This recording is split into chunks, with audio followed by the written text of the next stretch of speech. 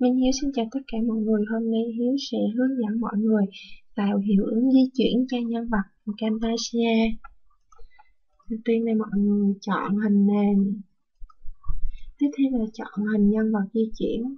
Thường chọn chế độ ảnh clip để dễ sử dụng nha. Ví dụ như hình này. Ừ. Mở phần mềm Camtasia lên. Ở đây Hiếu đã chọn sẵn các hình open. Hình nền Scale to fit để cho nó tràn viền màn hình. Thứ hai là nhân vật hoặc hình di chuyển. Nhân vật về đảo chiều mình đảo chiều lại nha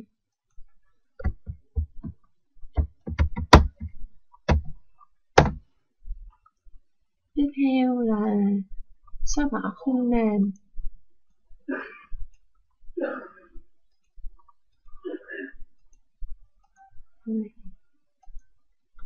copy nhân vật và pass.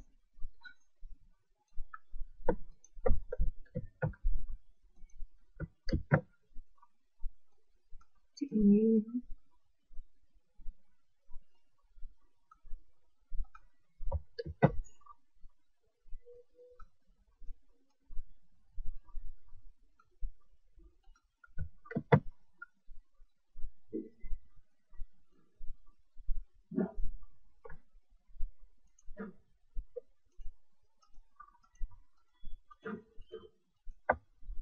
kích chuột phải chọn Stitch Select Media?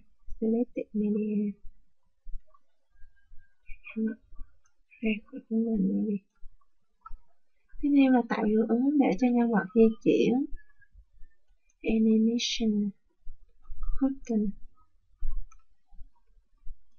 kéo rồi, những cái nhân vật là cái hình này. Rồi mọi người cùng xem xem nhé. Rồi. Tôi cho hiệu ứng âm thanh, tiếng hút cho rồi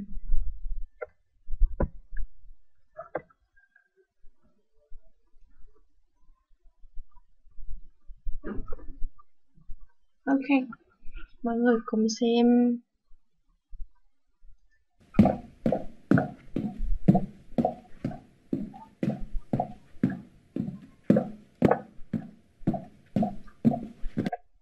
ha. Cảm ơn mọi người đã quan tâm và theo dõi. Nhớ ấn like, subscribe và để lại bình luận bên dưới nhé. Cảm ơn mọi người ạ.